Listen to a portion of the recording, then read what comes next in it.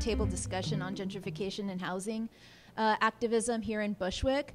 Uh, I wanted to take the time just to introduce some of the folks who are on a panel today, two of them of which were interviewed for the Project for Cities for People Not for Profit. Our first panelist is Josh Carrera, who grew up in Bushwick off of the Wilson Avenue stop on the L train. He is deeply committed to organizing around issues of housing and environmental justice.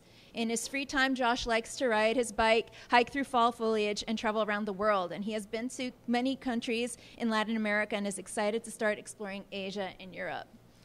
Our second uh, panelist is Julian Gomez, who is a tenant organizer for Make the Road New York. His job consists mainly of leading outreach efforts to identify community members that are at risk for eviction, facing harassment, or could otherwise benefit from legal assistance on housing issues, educating community members on legal protections available to combat harassment and to maintain safe, affordable housing, as well as the rezoning impact on the community, setting up tenant associations in buildings, and developing Know Your Rights workshops uh, re- related to anti displacement. Our next panelist is Gladys Puglla, who was born in Ecuador, grew up in Manhattan's Lower East Side, and moved to Bushwick in 1998. She experienced harassment as landlords tried to evict her and offer her buyouts. In 2000, when her landlord was refusing to do any repairs, a neighbor told her that Make the Road New York could help. Gladys walked through the door to Make the Road New York and has been involved with that organization ever since. She began organizing her community in her free time and learned about the rights of tenants. Her leadership grew as she organized tenants' rights support groups and was involved in rallies and press conferences. And she has been elected to the board of directors for four terms. And New York is her hometown, and this is where she decides to stay. Uh, Ariella Riapos is a 22 year old activist, originally from Jersey City, currently living in and building community around Bushwick. She's the co founder and lead organizer of G Rebels, a grassroots organization dedicated to building solidarity among black and brown communities. She is a recent graduate of Pace University, where, after coming forward with her own Me Too story senior year, she and members of Pace, End Rape organized a walkout for women and femmes to force the administration to meet student demands for policy changes within Title IX for stronger protections for survivors of sexual assault and intimate partner violence on the campus. Currently, she works at Equality for Flatbush. So please uh, extend a warm round of welcome to our panelists for joining us today. And so we wanted this to be somewhat semi-formal, but then also sort of casual. We're going to try to play around with that balance. But I wanted to ask and open up questions first to all the panelists. First, I wanted to ask you all, how long have you lived in Bushwick, and what has your experience of housing been like? And I'm just going to pass the mic around, and you can all. Uh, thanks, Cynthia. Um, so, hi, all. My name is Josh. Um, I grew up here, but I haven't lived here since 2014. Um, in 2006, my family faced our first eviction. Uh, we grew up on Decatur between Wilson and Knickerbocker. And then in um, 2014 is when the second eviction happened. So, um, but I'm still, I still come here. I'm, I'm involved in Mayday. I'm one of the core volunteers. Um, and I come here because I still miss Bushwick. Bushwick is my lived reality. It's, it's the New York that I know. Um, so that's kind of um, yeah my background and how I why I show up here, and my experience with housing. Man, how, I mean, if, if you've lived here, if you live here, like many cities, like many neighbor neighborhoods in New York City and in cities across the country, there's a housing crisis, and we can't afford to live here.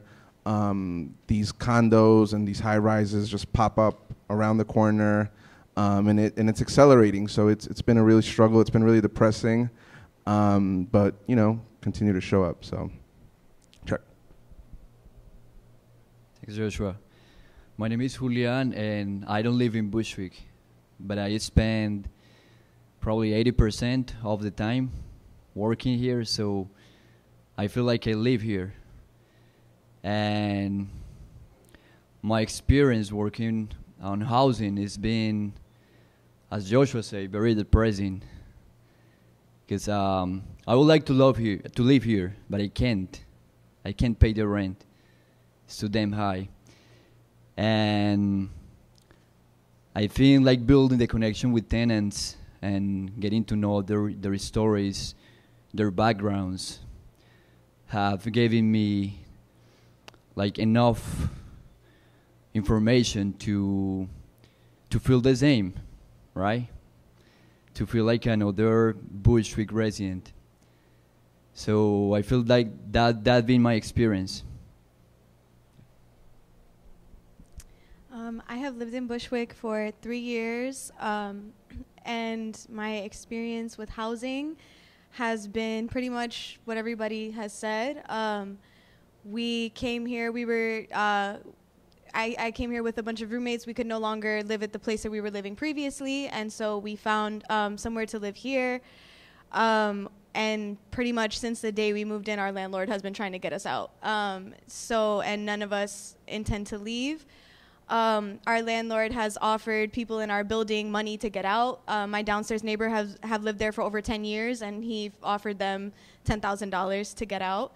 Um, they didn't obviously they didn't take it, um, and good because what can you do in $10,000 in the current with with the current housing crisis going on? Um, and yeah, and also just the the struggle of kind of my generation, like the 20 something year olds, who all of us you know, we can't move out and get our own place. We're all like kind of packed in, living. The, everybody that I know that's my age has two or more roommates at least. Um, so that's been my experience with housing. Uh, good evening. I have lived here almost 20 years. And as per she's saying, fighting with housing, I, I think I've been fighting with housing since the 20 years with my first landlord and second landlord. And the second landlord is getting harder to fight. It's getting hard every year to fight with him every time he takes me to court. But I'm there. Like I told him, I'm here with my group, with this organization, with my lawyer, and I'm not leaving my apartment. And he always just laughs. But I said, keep laughing. The, the last one that laughs is the one that wins. and I, it's been happening like what, five times or six times that I've been in court with him.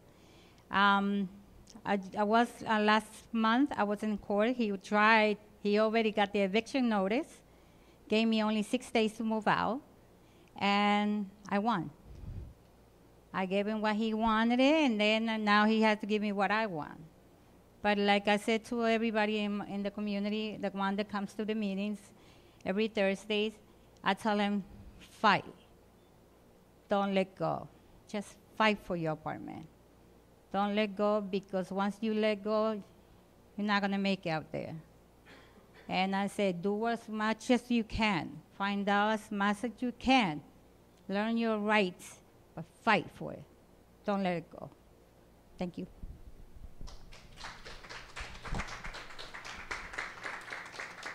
Thank you so much. I guess the first question I'm going to open up, I'm going to open up and direct it to Josh. What comes to mind when you think of Bushwick? Um, yeah, that's a good question. well, two things comes to mind. I, I have a love-hate relationship with Bushwick. I love it because it's you know it, it formed who I am and, and, my identity and how I see the world as a New Yorker. Uh, so I love it because of that. You know, Bushwick. Uh, when I was growing up in Bushwick, I grew up on um, uh, on the side where, uh, at least on my side, there was a lot of black and Puerto Rican families, working families. Um, I grew up with hip hop in Bushwick, um, so that's that was kind of like my whole life, and I love that. Um, and then the when I, the other part that I think of Bushwick is when I spend time on this side of Bushwick, uh, where Mayday is, and then closer to like DeKalb and Jefferson. Then that's like the new Bushwick or the Bushwick that's like threatening um, what we that grew up here have always had, which is community, um, affordable rent. Um, so that's kind of what I think of Bushwick. I think of the Bushwick that used to be and the Bushwick that's on the verge of becoming something different. And um, and it's hard. It's really really hard. But I but I keep coming back because it's who I am. Um, so yeah. And if anybody wants to step in with their own memories, feel free to share. I'm just going to go ahead and move on, though, if nobody else wants to add anything. Oh, there we go. Great. Putnam Avenue was the in between Irving and Knickerbocker was the children place because everybody in the in the apartments had children, and that's why we fight for that park, that little park that we had in, in front of my building. We fight to fix it, and we fix it. It took us ten years to fix it, because that assembly person or whoever, whoever was in charge of there, gave us very a hard time to get the money. The thing is that we were a family. The whole block was a family. And everybody in the neighborhood were jealous of us because we were making our block party just for the children. And it was full of children on that day. So it's hard to see how much it changed Putnam or Bushwick. I'm not saying just my street, everybody, every corner it has changed. And it hurts to see so many families being displaced and gone. Gone. There's no more the family that we used to have, the community togetherness, fighting for something. It was not there no more. It's not. And that's what I tell the new people that comes in. Please, in get involved with the family that lives here now. Be part of it. Don't be a stranger.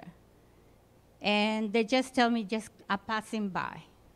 And that hurts. When they tell you that, it means the rent is going to keep going higher because they're just passing by. Thank you. So this next uh, question is, uh, I'm going to start off with Julian, and if anybody else wants to chime in, feel free to. What are the top three challenges that you think is facing the Bushwick community? Well, rent. I'll say that's the number one challenge. Um, well, this is my personal opinion. So I think the the second challenge is the being willing to organize, right? That is that is that is a challenge. It's challenging. And the third one, um, I'd say that is like keeping the community sense, the community feeling. Um, well, rent I think is is high, as as Gladys said, it's gonna keep going higher and higher, and people are spending over 50% or of their income on rent. So they're making choices um paying my rent or buying my groceries. So yeah. The um, on the community the community sense i think it's it's hard as the community itself is changing right it's changing the community members are changing, so it's actually hard to keep the community organized and in the same way, because it's not the same people. There might be some obstacles as the language, right? So it's really hard to keep the community sense. And the, the other one was um, organizing. I think a big chunk of the community here is undocumented and they're afraid just to take action because they, they don't want to be exposed. They want to keep in the shadows because they have their families here. They don't want to be deported. So I think that is another challenge. And I'm talking from the organizing side, right? Maybe some of the other panelists have other opinions or their thoughts, but I think those are um, three challenges that the community is facing right now. Who wants to add? And a lot of this may come up later on. If you want to chime in later, that's fine. Um, in regards to like these impacts that gentrification is having in the neighborhood, um, for Josh and Ariella, I wanted to particularly ask you both how do you feel for younger generations and folks coming into the neighborhood? How can they impact the change that's occurring because of gentrification? What have you seen work? What have you seen not work? Any f- insights or feedback you have on that?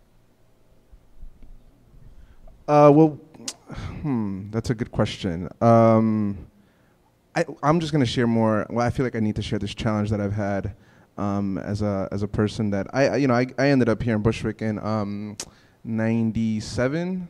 Uh, before that, uh, my family lived in uh, uh, Lefrak City in Queens. Um, and one of the challenges that I've always had is that when I became politically aware or politically conscious, I latched on to this identity uh, of being a Bushwick native.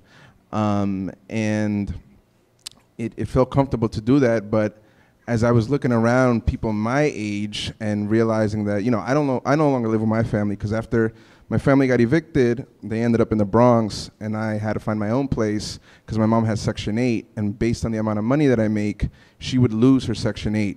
So I couldn't even live with my family. You know, I had to find my own place. And because rent, and it's a weird thing because I make enough money that she would lose her Section 8, but I don't make enough money to get my own apartment because I have student loans. So that means I have to end up living with three or four roommates, um, which sucks because I bet, you know, in the 90s, I'm assuming I could have found my own apartment and like started my own life from that perspective. So that's the challenge for um, people my age that either grew up here or are moving here that we can't afford to live the way our parents lived. Um, and so we need to figure out our own strategy as young people that either have lived in this neighborhood or are moving to these kind of neighborhoods. Like, what is our role? Because um, it's very different from like people that have been here multiple generations and maybe have home ownership or um, other forms of privilege to let them stay in the neighborhood. Uh, unlike my mom, who was a single mother with Section 8.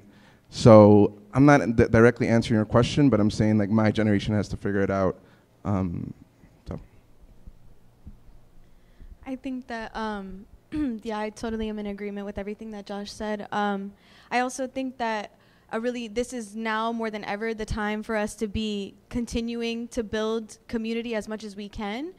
Um, I think that a lot of one of the ways or what enables gentrification especially um, and this is what i've learned working at equality for flatbush the, which is a um, tenants rights grassroots organization um, people feel uh, shame that they're being taken to court by their landlords or that they're being harassed by their landlords. They don't they may know all their neighbors and they don't tell anybody about it. And so it's able to happen in secret.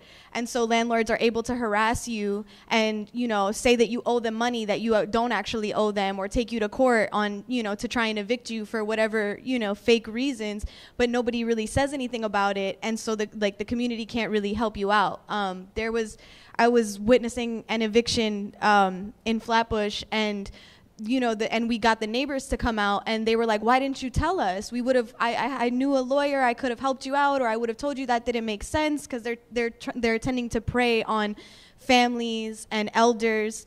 um, who may just get a little bit nervous and then just decide to pack up and leave instead of to stay and fight, or even younger people um, to you know because we don't have the resources. Like Josh was saying, our generation we're burdened with student loans. I don't have money for a lawyer.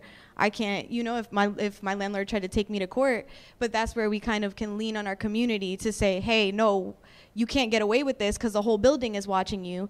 You know, you can't get away with this because the whole block is watching you. Try and evict me, and the block is gonna come out. You know, that kind of thing where we can have like unity in the face of all of this craziness and chaotic and also for like you know newer people coming in myself as somebody who's only been here for a few years is very important to meet your neighbors because what tends to happen is a lot of the like you know the gentrifiers who come in they don't like you know is only in for a year and then they're out and they don't meet anybody they don't know their neighbors they don't you know you don't even know their name really um, so I think it's very important to kind of push back against that and to and to build even more community in this time because I think that that's so important and we can form a united front against these issues. So that kind of leads to my next question, which is about community roots. And I wanted to give uh, Julian and uh, Gladys a chance to respond to that in regards to like how does one develop these community roots that are so necessary to fight this um, apathy you see from folks coming in from the outside? Well, I think if if you look at your hand, you have five fingers, and each finger is has different size, right? It's different from the other one, but they are attached to to the whole, right? To the whole hand. So this is community, and like even though there are different sizes, different measures they are connected, they are united. So I think that for long-term members in Bushwick and for new residents, new members of Bushwick, I think this needs to keep tight, right? And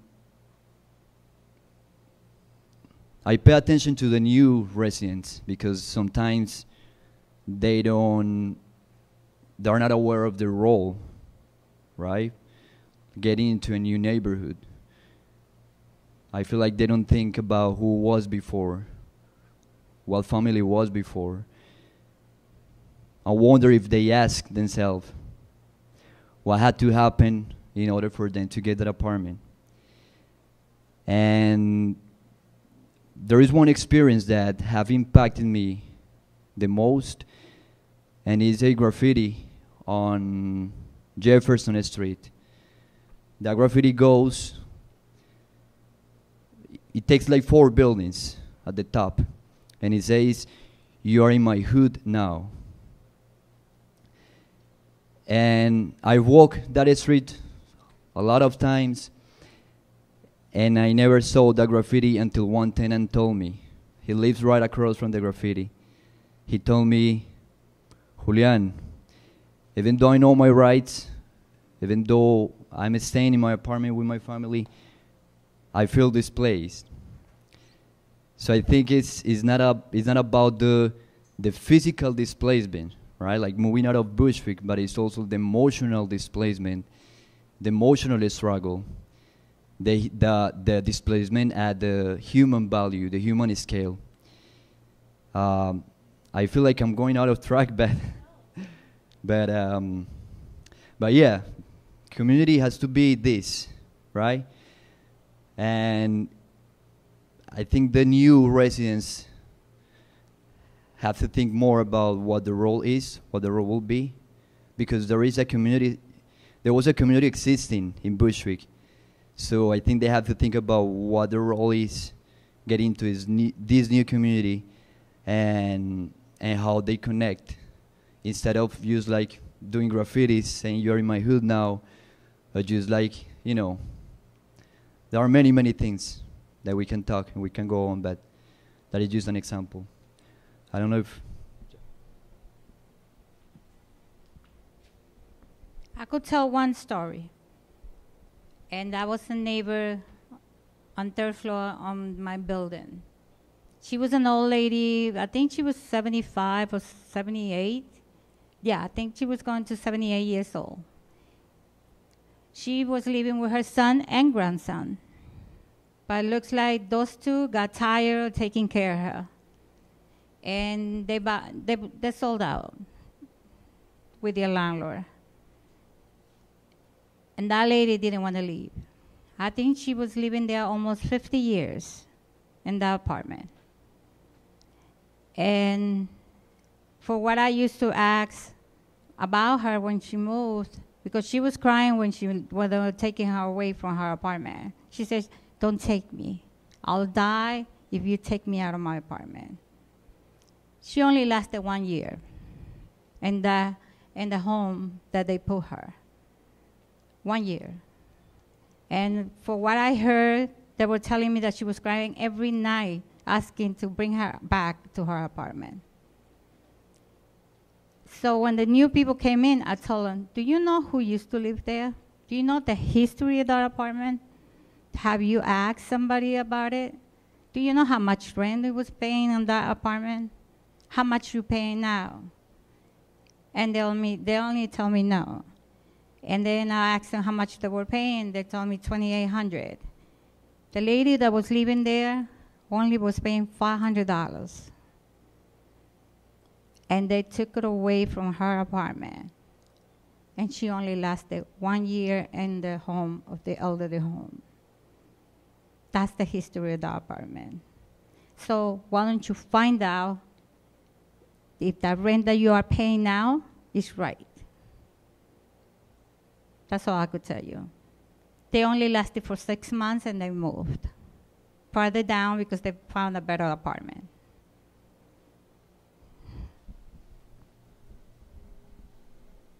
So I'm going to bounce this mic right back to you, Gladys, because I wanted to follow up with a question about because your story and everyone's story so far, everyone is such an inspiration. But you've had this experience dealing with evictions and landlords directly. What do you think is the best way for residents to deal with community changes in neighborhoods due to gentrification? Like I said, there's a meeting every Thursday in Make the Road, New York at 7 o'clock, and everybody comes to ask for help. And the only thing I could tell them learn your rights. Come to this meeting and learn your rights. Learn everything that you need to learn to fight with your apartment. Be strong.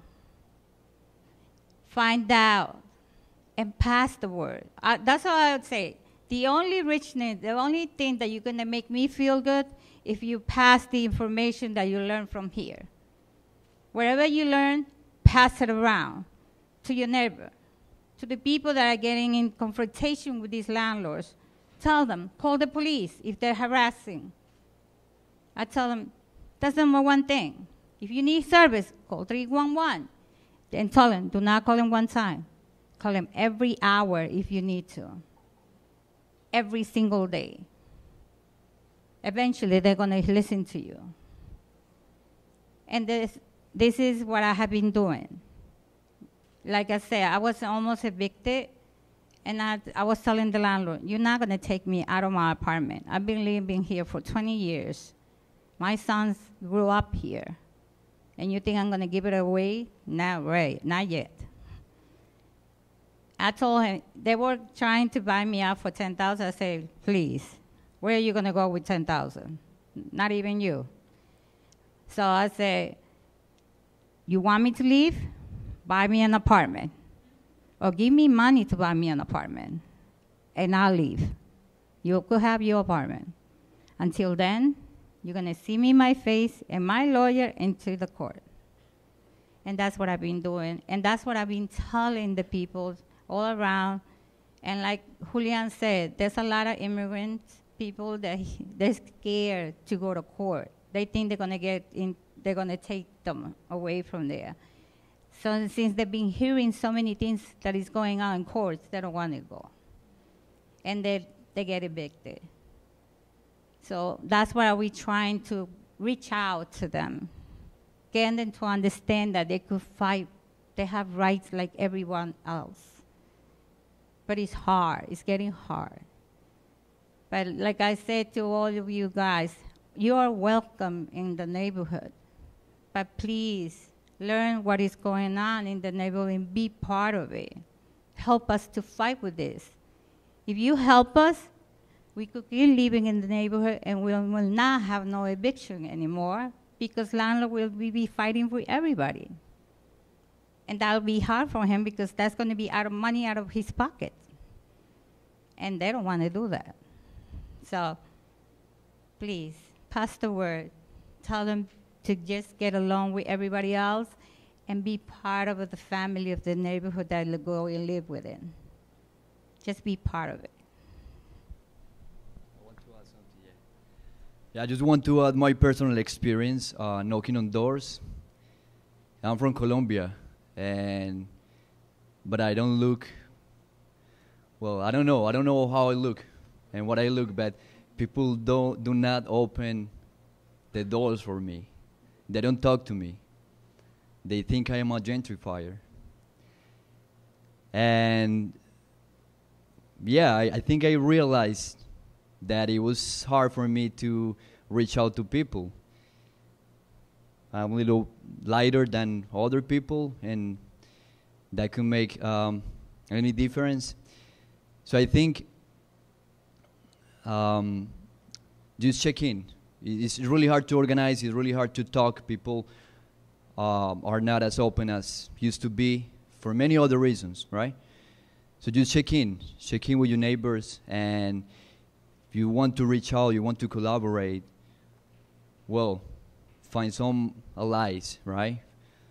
Find some um, Latino community members that you know and do outreach with them because it's what I do.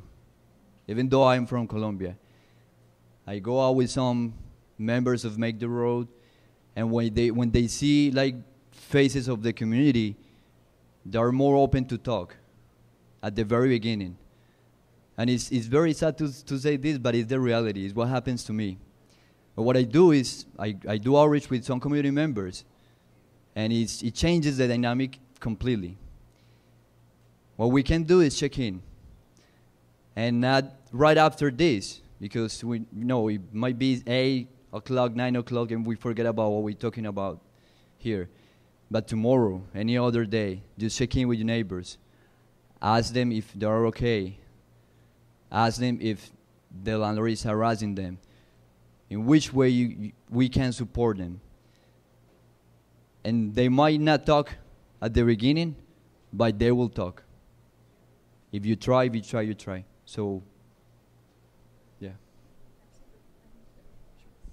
Yeah, I just wanted to add on to that and say absolutely like um and I would say especially the burden is on the, the newer people. It's on us to go out and meet our neighbors and go knock on like go through your building and knock on the door and just say, "Hi, in case we haven't met, my name is, you know, so and so. What's your name?" You know, and maybe even if if if the building seems up to it, starting a tenant association, which doesn't have to necessarily be incorporated or really fancy or anything. It can just be every on Thursday night for an hour, everybody comes to your apartment and you guys just talk about, you know, everything's good, like, you know, like Julian was saying, everything's good. Has the landlord said anything to you? Are you do you need any repairs done? Let's do 311 complaints together. Cuz if all, you know, let's say there's there's 40 of you in the building, if all 40 of you sit down and make a 311 complaint, they have to you're going to get results faster than if it was just one person putting in a 311 complaint. So just like supporting each other in that way even in the smallest ways it just makes it harder um, for the landlord to harass you. It makes it harder for people to get displaced and it also makes it harder for them to do it in secret you know without anybody knowing like which happens a lot of the time. Those are great suggestions. Also don't overlook the power of block associations so, say you're feeling kind of like alienated within your own building because maybe you're outnumbered in your building. Um, check out the street, check out the block associations too. That's what I do in my part of the neighborhood too. So, also one more thing, I think that um, this if if your landlord is not providing has not doing repairs, if you are living in unsafe conditions, under the law you have every right to withhold your rent. So this is where, and especially those of us who are newer and are probably paying more and have have the privilege because as as is mentioned there is a high undocumented population. So those of us who have the privilege and are paying the higher rent it's going to hurt our landlord if we withhold our rent if you can get two or three people in your building who are paying a bit more to withhold their rent with tenant with other tenants who may be paying less, that's going to hurt your landlord. And like I said, under New York state law, you are protected uh, to do that. That is 100% within your right to organize a rent strike. If your landlord, if your building is falling apart, if you don't have any services, if you've been complaining to them about certain pr- repairs, of course, make sure you document everything so that you have proof if they try to retaliate against you. But 100% is within your right, and you can withhold your rent at any time. Lots of good information, and that's just like with this today's panelists. Uh, some folks have also brought some paper material with some. Uh, we have a toolkit at the table over by the registration. If you want more information in English and Spanish, it's there. Many of the resources that folks have been talking about today, as well as uh, things from some of the organizations that are participating today. So feel free to take a sheet. My Last question is for Ariel, but of course, anyone else in panel, please feel free to chime in if you have also a response to this. As Bushwick is dealing with these community changes, what would you like to see public, nonprofit, city agencies in Bushwick accomplish or tackle or address? Um, I think that's that is a very interesting question. Um, it's and it's and it's very complicated as well. Um, I think that there. I think that the system in which that we that we live under makes it a little bit difficult. There may be well-intentioned efforts to um, to help or to make things better, and sometimes um, just based off of the way that nonprofits have to run and things like that, it, it, can actually end up not doing what they set out to do. It can actually end up maybe hurting the community a bit. Um, so I would say that whatever efforts are made, obviously it needs to be hand in hand with community members and not necessarily, uh, you know, appointed um, people. I think that good old fashioned grassroots door knocking hi can i get you know how do you feel about this engaging with community members going out to parks and things like that public places and speaking directly to the people on the street to the people who live in bushwick um, would be a much better way to go about getting information about how um, how things can get better, how to provide services, and all that.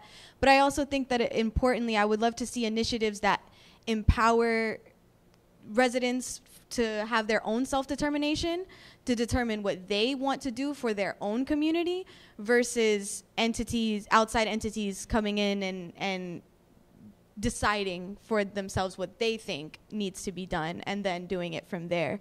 Um, i think that there needs to be a lot more i would love to see a lot more community input um, town halls things like that where the community can actually say what they want and what they feel would be the best thing versus somebody else coming in.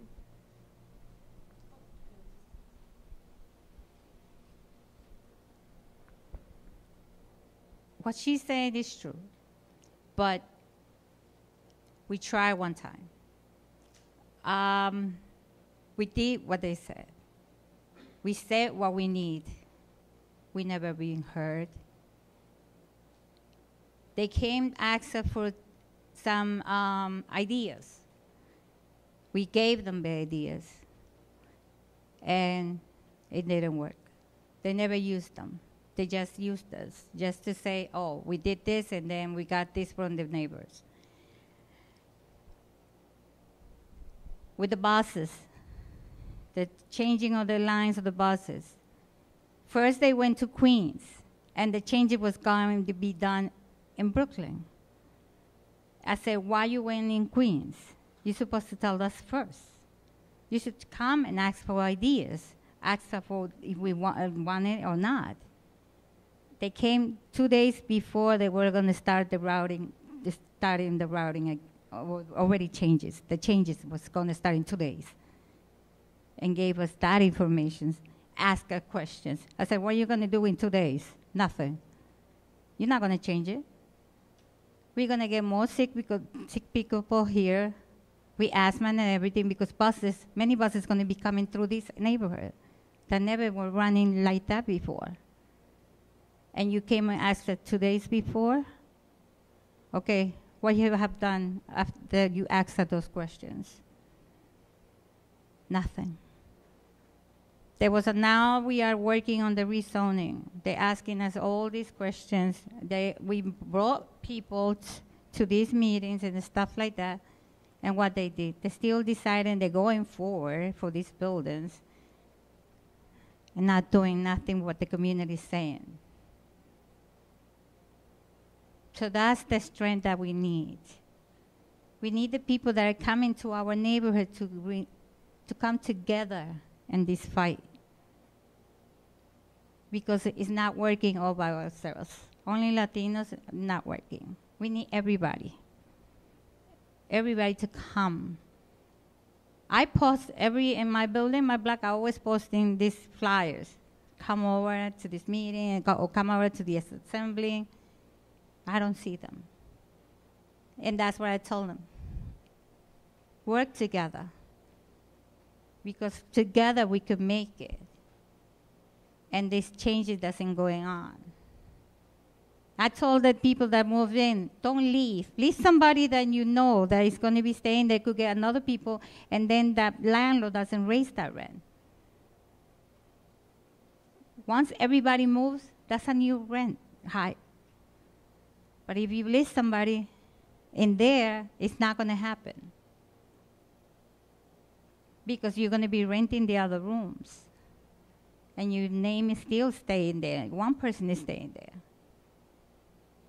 But no, when they, everybody moves, then the rent comes higher. And that's what I say. It's not working when we get the community together and give our ideas. They're not using it. I don't know why they, got, they gathers us in the community to say something and they're not using it. They're not listening. So I ask for you guys. Come over. Come with us. If you see any assembly that is going on, show up and hear us and participate. Come along to the rallies, to the marches that we do. It's for the better of the community, not for us. It's for the community, for everybody that lives in the community.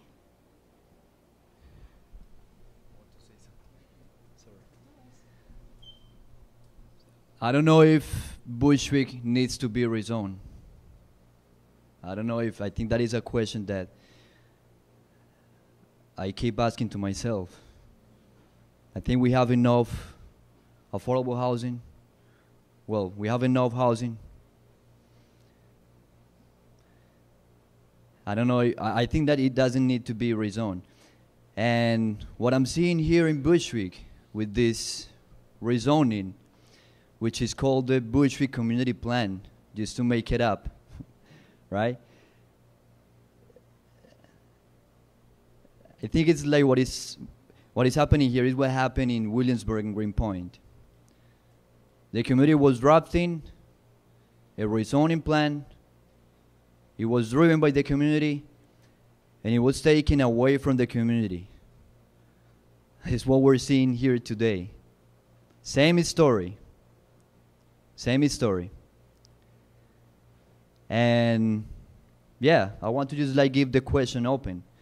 Do we need to rezone Bushwick? No, right? De Blasio came up with this plan, which is the MIH, mandatory inclusionary housing. He's, he's supposed to work in about 200,000 units, preserve 120,000 units, and create 80,000 affordable units. He chose 50 neighborhoods in, in New York City to create those 80,000 units. If you look at those neighborhoods, are low and medium income communities. Why? Why those neighborhoods? I just want to leave the question open. This is the question that I always ask them when I go to those meetings. The MRI they say is for 44,000 the people that could apply to this apartment that they call it affordable. I just want to ask you, do you know anybody that they lived in that neighborhood earns 44,000? Not me. I live there. I have a job. I don't earn 44,000. I can't apply for those apartments. The family that lives in this neighborhood is only 20, under 20,000. Probably the highest, probably 25. My daughter makes 28. So that's where I asked the question where do you get these, these amounts? Where do you get these numbers? You know where they tell me? In Albany. The people that lives in Albany. But those are homes. That's where they get these, um, these, these numbers. Why don't you come and do it here in these neighborhoods? And then you will know the real, real amount that the people earn here. So that's what I ask you. who do you make in these buildings? Not for us. And then they said they only could give you the 10 or 20% out of the 100. What is 20, 10 apartments when it's a thousand people out there homeless?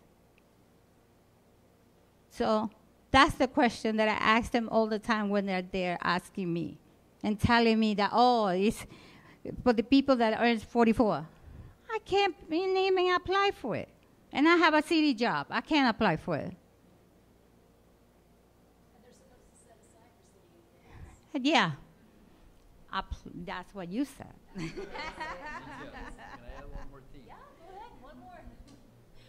Yeah, Gladys is what is she's basically saying is that the the income that you will need to qualify for one of these affordable apartments is calculated by the area median income, which is the five boroughs plus two counties, I think Westchester and Putnam. People that live there make way more money, right? So that's why the, the median income goes higher. And it's basically like the way it was calculated. So they're not thinking about people who's actually living in these communities. And I think at this point, well, we can go all the way to Albany, right? Is where the, the laws uh, are made. And I think we're at, at the point that landlords decide who live where, right? Because they have the power. They have the power. They have a lot of, they do a lot of lobbying in Albany.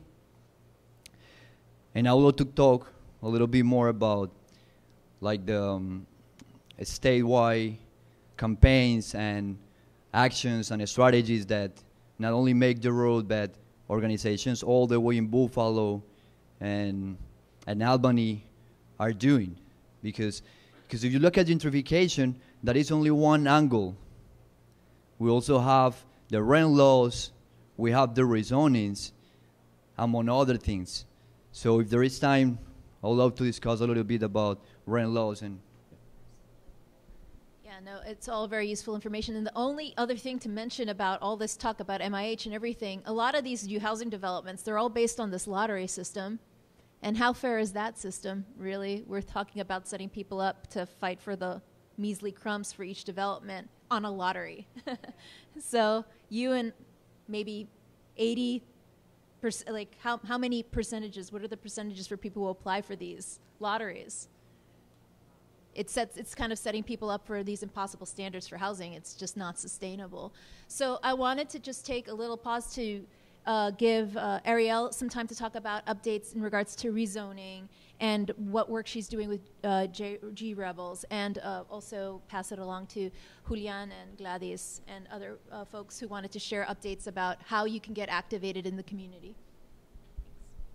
Um, yes, so I'm really glad we kind of like organically got to this um, this exact topic. I will preface everything to say that the debate about the rezoning is very contentious.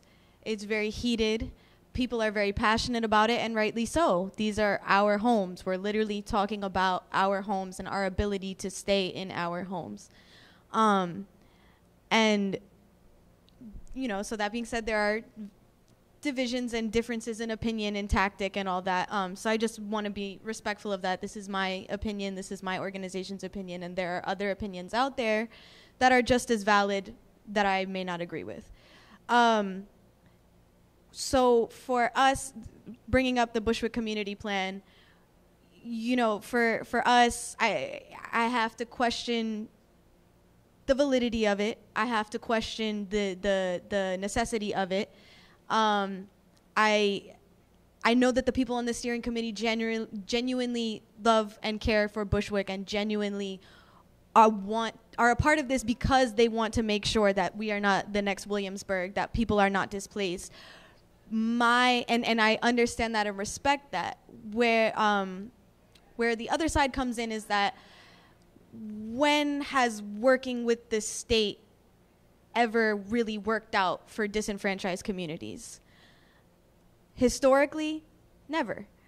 Um, so to say, and I think that, and I think that the, there's a lot to kind of analyze there, but you know, for the sake of time, I'll just. Um, I think that it, it, it's very difficult because a lot of um, like Gladys said, you know, there in February there was a meeting where city plan, like you know, c- city agents and city developers came in. And after four years, this has been going on for four years, these steering committee meetings have been going on. So, this is four years of work that people, community members, have been putting their time, their effort, their dedication into crafting a plan that they hope will save Bushwick in a way, save the community of Bushwick to preserve the character, the culture, the community. Um, and this, and there was a city worker, I cannot remember his name, I'm so sorry. Um, he, he works at the Department of City Planning. Winston Von Engel. Yes, Von Engel came into the meeting, presented a plan um, that was absolutely nothing that looked like the Bushwick Community Plan. Absolutely nothing like what the Bushwick Steering Co- Community Plan Steering Committee asked for. And this is and the, the plan has yet to be finalized.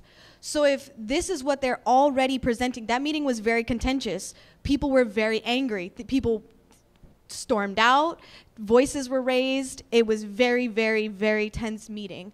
So if my concern is that if this is if the plan has yet to even be finalized, and if and also keep in mind none of the these are all recommendations. None of these recommendations are legally binding. So they're just kind of, hey, this is what we want to see. So that, as was mentioned before, the state can say, look, we got community support. Look, this is what the community said, this is what we gave, we came to a happy medium. Um, and as was also mentioned, you know, 20% of a building, affordable housing that's not really affordable, we're, we're already recommending and asking for crumbs in a sense. You know, to, so to know that we're not even going to get those crumbs, he came in and presented this plan that, again, was just not what anybody asked for. And when people confronted him, and rightfully so were angry, he said to us, We are here to preserve the character of the buildings, not the people in them to a room of Bushwick residents, some long time residents, 50, 60 years, some of these people have lived here. That's what he said to them. This is a city employee who works at the Department of City Planning, Winston Von Engel. So if this is where we're at now, there's a lot of us who are genuinely concerned about the validity of passing a plan like this because once it goes into the ULURP process, it's out of our hands. The city can do whatever they want. And so that's why, again, none of these recommendations are legally binding. And the affordable, you know, we can question the affordable housing who is it really affordable to? Um, so that's why, you know, G Rebels working with Mi Casa and um, and BAN, which is the Brooklyn Anti Gentrification Network, we are against the rezoning. We just feel that why why would we open the door to let that happen to become the next Williamsburg to say you know the Williamsburg community they had a plan they asked for certain things they you know they, for affordable housing and all this stuff and they have gotten you know exactly 10 years later nothing you know 10% of what they asked for, which was already, you know, not what could have been asked for. You know what I mean? So it's just very complicated. So we're doing a lot of work around there. Um, there was a very um, tense action recently where we went to a CB4 meeting um, because, yeah, they, they were planning to hear the Bushwick Community Plan and it got very tense.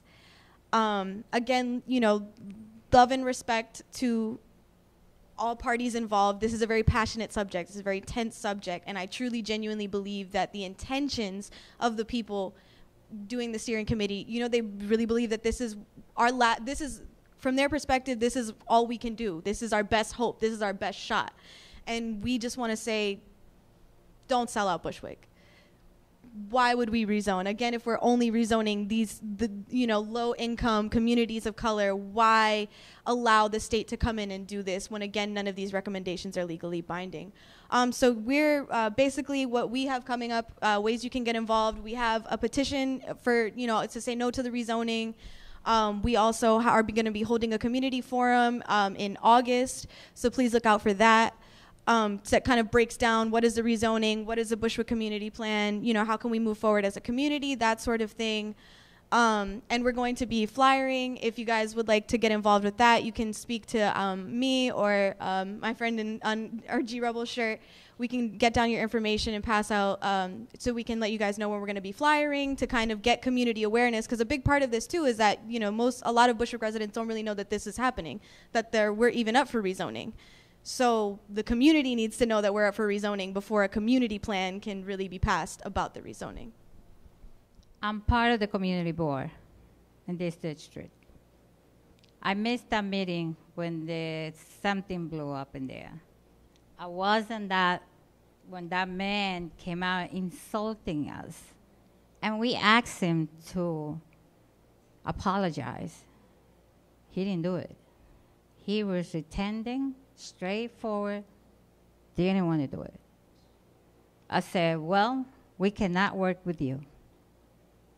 And that's what they did. Now they are, we are going, we got middle people, which is our, um, how you call this? The people, uh, Reynoso and the council members. Two council members is going to be between them and us. They don't want to, no more participation with us because we told them off that day. How the hell you came insulting us here in front of us and tell the elders? And they didn't apologize. They left without any apology for anybody in there. That's what I, I told them. I say, how do you want me to accept this when we made two meetings, we, assemb- we made an assembly with the people of the community of Bushwick, and they tell you what they need, and you came out with this? They didn't want to hear it. And that is true, they're having another one, and we, we have to be there. Please participate. If you see any flyers about this, come over.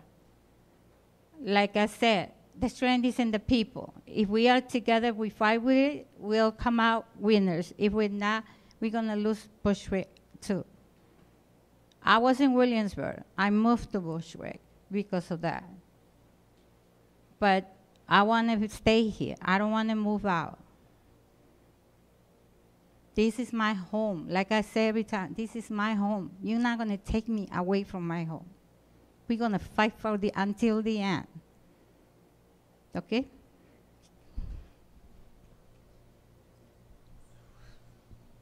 Well, I think Ariel and Gladys have said a lot. I just want to say that in order for fight against the rezoning, you need to know what rezoning means. And part of the problem in our community in Bushwick is that people do not engage as much as we need, as much as the community needed. So I think we need to take the time to understand what rezoning means and explain that to the people, but also using the words that they will understand. So I think one thing that I've learned in Make the Road is that we have access to information. You know, we, some of us might have gone to college or, you know, have certain level of education, but we need, we need to understand the community that we're working with. I think we need to bring those words, that language over there, which is so complicated, and bring it to the ground so people can engage easily and participate. We have the the tenants committee meetings every Thursday at Make the Road, and but we need to understand what is what is what rezoning means because yes, you can mobilize people, you know, you can you can fill a room, but they need to know what, what is going on, right? Otherwise, it will be like less impactful. Um, yes, I, Make the Road is participating in, in the Bushwick rezoning. It's been engaged like in different subcommittees, the steering committee, but also the other subcommittees. And I think that I'm talking like from my perspective as a human being, as a tenant, right? Um, once again, I don't, I don't think that Bushwick needs to be rezoned. But it's really hard. It's really hard because the, the foundation of these processes are, are the same, right? Growing and development. And it happens here, it happens in Colombia, it happens everywhere. The population is growing, and the buildings, the cities, get old. So they use those two reasons to change neighborhoods. And if you look at if you look at those two reasons, are just like basic things, right? That each city planning city planning department will, will look will look, right? So it's it's it's really hard to like go against this uh, process, but we need to, and and once again like bringing all of the terminology, all the ideas, all the concepts to a ground, so people can can grasp it, can understand it. You will, I think, like more efficient and more productive all the engagement and all the participation.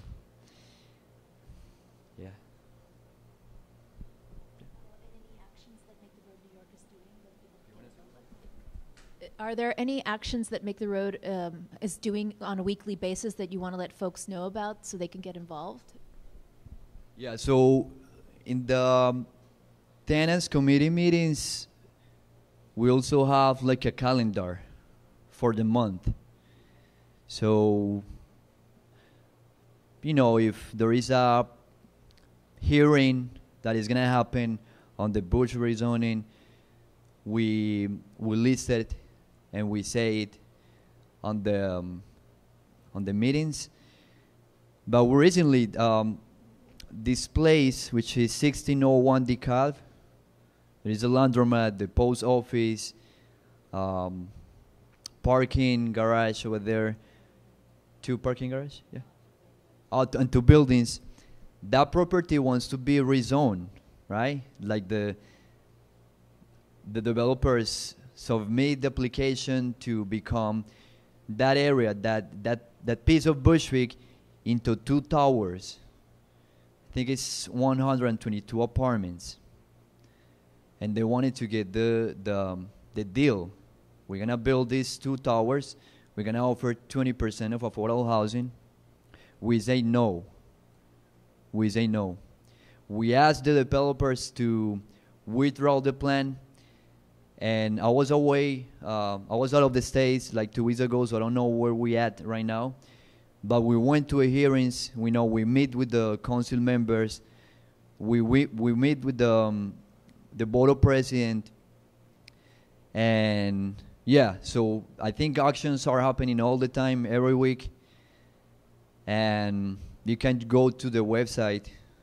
You can um, talk to Gladys, to me. We're not the only ones working in, on the housing department. It's also Jose Lopez, who was on the video earlier, uh, Angel Vera. So we are actually like a few people working on, on the housing department and you can talk to us. Yeah, I need to like get updated on events for the month, but actions are happening all the time. So it's you know keep keep tuned and yeah. Again, we want to thank these wonderful panelists. Please join me in a round of applause. Thank you so much.